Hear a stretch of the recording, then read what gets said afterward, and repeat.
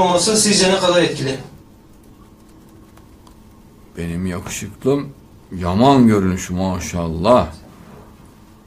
Böyle Afrin'e göndersek yıkar ortalığı yani maşallah. Benim kabadayımı bir daha deneyeyim ben.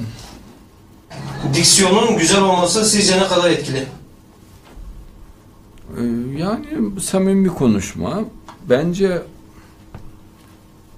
yani yerel dil, e, yerel aksanda bir mahsur yok. Sadece samimi konuşmak çok önemli.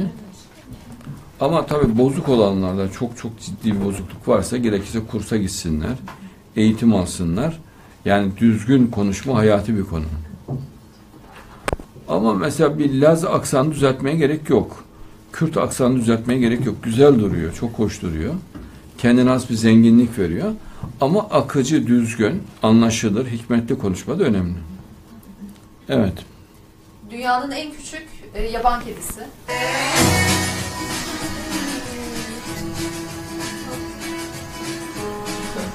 Bunun boyu maksimum 40 santime kadar ulaşıyor. E, bir Bengal kedisi türü. Adı paslı kedi.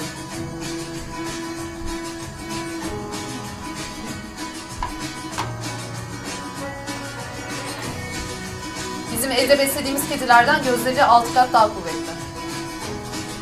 Altı kat. 6 kat daha keskin gözleri. Ev kedilerinden. Olay anlaşılıyor.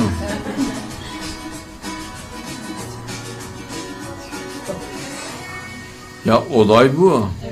Bunda mutlaka temin etmek lazım. Evet dinliyorum.